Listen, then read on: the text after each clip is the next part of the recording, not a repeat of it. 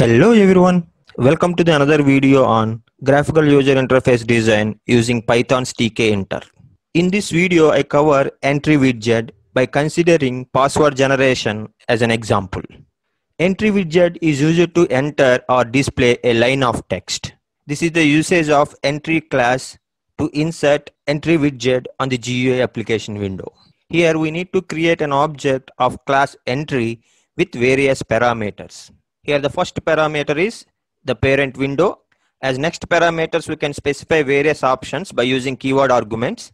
I will let you know the required options during the implementation of our today's example.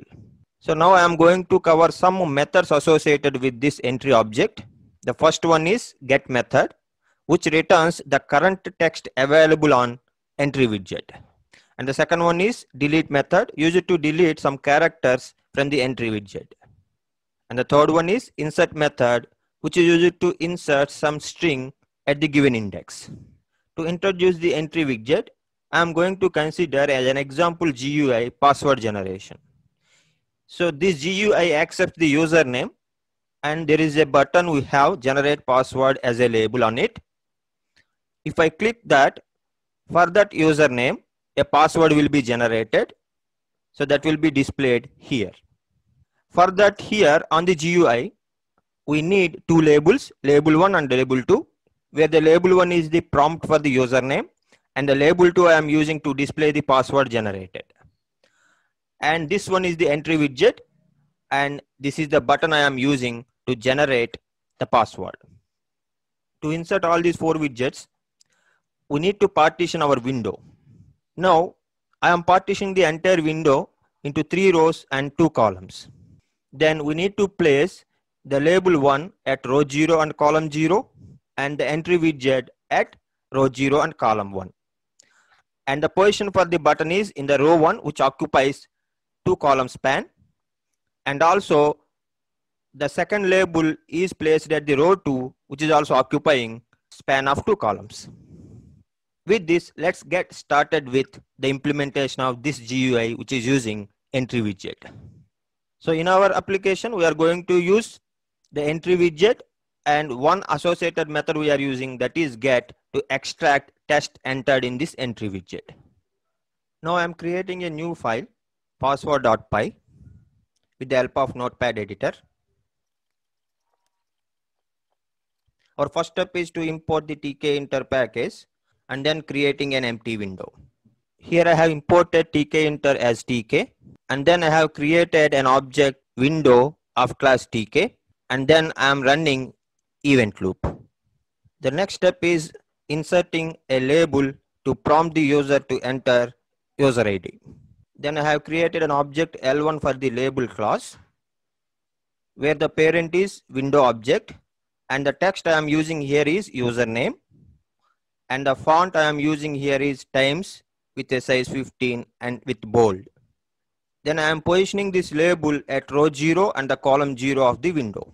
Next, I am inserting entry widget at the required position of the window. Here, my entry object is E1, which is having the parent window object. And the width here I am considering of 20. And the font I am considering times and 15 as the size of the text and bold. Now I am using the grid method to place this widget at row is equal to 0 and the column is equal to 1. And then I am using another keyword argument here is padx, which is having the value 6. So that means a space of 6 pixels will be generated left side and the right side of entry widget. Next I am positioning the button where B1 is the button object and the text I am using here is generate password and the same font I am using here and I am using a relief that is with a constant raised in the TK package where the relief decides the style of the border that widget is having. There are different styling options available for the border. Those are sunken, raised, groove, ridge and flat. For our button, we are using raised as a 3D styling of the button border. Then I am using a keyword argument command to specify the function that is to be called when you click on the button. I will define that password function later.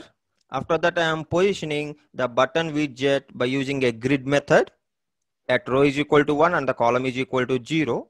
Then I am specifying the column span of this button widget as 2 and then I am using another keyword argument pady with 10 as its value.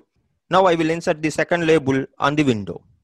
The second label object is L2 where the parent is the same window and the default text I am using is your password is and the same font I am using but here I am changing the text color by using the keyword argument FG stands for foreground that is green color I am using here and then I am positioning this particular label 2 widget at row 2 and the column 0 position of the window and I am specifying the column span of this particular widget as 2 and then I am using padx argument with 5 as its value to include some space before and after that label widget. Now all the four widgets are placed. The next step is we need to define the function password that will be called when you click on the button widget. So this gives us the required function password with required modules. Now as a password, I am going to generate some random text of five characters. To generate that random text as a password, I am going to import two modules. The first one is string and the second one is random. And then I am using a global variable ra, which holds a string. That string contains all the uppercase and the lowercase characters uh, returned by ASCII letters constant available in string module. And also that raw string will have all the digits from 0 to 9 returned by the constant digits in the string module. Now I am defining the password function, which is not accepting any arguments here. Within the function, I am defining raw as a global variable, which is holding the required characters as well as digits as a string.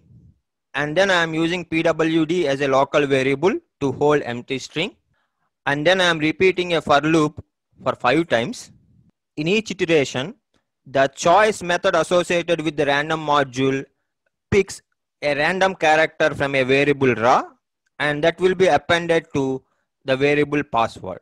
After the completion of all the five iterations of this for loop, the PWD variable will have randomly selected five characters in it.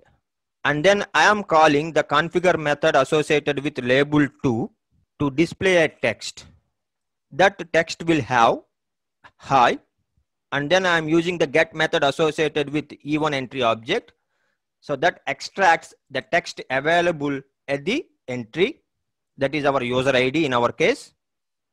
And that will be appended with your password is and then that will be again appended with the password of five characters that is randomly generated with the help of this for loop. So that's all with our program.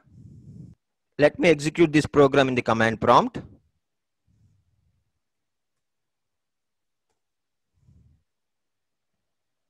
See here, our GUI is generated with a label username and there is an entry widget which allows a text to be entered as a user ID. And then there is a button available to generate the password. That generated password with five characters will be appear here at the second label. I am considering the username Kashe. I am clicking on the button generate password. Then the password generated for the Kashe is R6SL8. Now I am going to generate the password for the another user. The username here is Kishore. If I click on the button generate password, then my password is AACGS, which is the combination of capital letters as well as small case letters. So that's all guys. In this way, we can use the entry widget to enter some text into our GUI. That's it guys. That is the end of today's concept. I will meet you with new concept in the next video.